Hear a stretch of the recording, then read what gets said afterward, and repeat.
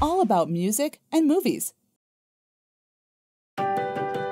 My name is Damon, and this is my daughter Velvet. Her major concern right now is the elusive art of sleep direction. But soon, she'll have to face a rapidly deteriorating environment. The ice sheet is now melting faster than the scientists predicted.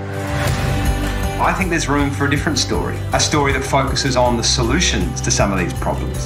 So in 2040, what will the world look like for our daughter if we just embrace the best that already exists? Instead of having governments that are reacting to disaster, we need governments and businesses that actually take us off in a different direction.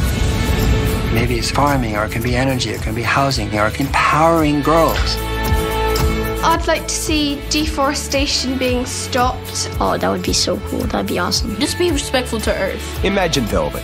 We adopted regenerative practices like phrases, pulling the carbon into the soil and making it healthier. That's right, yeah. And we embrace efficient local energy. Bangladesh has 5 million solar home systems. They have that power in their own hands. This is bringing people together.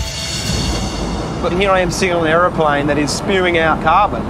You can't help but be a hypocrite because our entire system is built on fossil fuels. What were you guys thinking? Well, sometimes we weren't.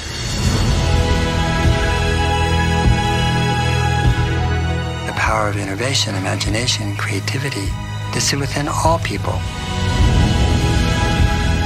People want to be working on something that they can see is actually helping to regenerate the world. Everywhere you look, you will see incredible reasons for hope. You could feed 10 billion people with the protein from marine permaculture alone. Wow.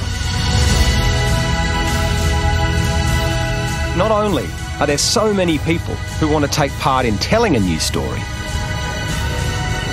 we have everything we need right now to make it happen. What's your 2040? I just want the future to be good.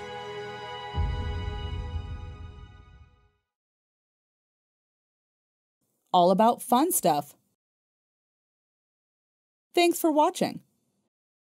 Don't forget to subscribe and hit the bell button. Do you like?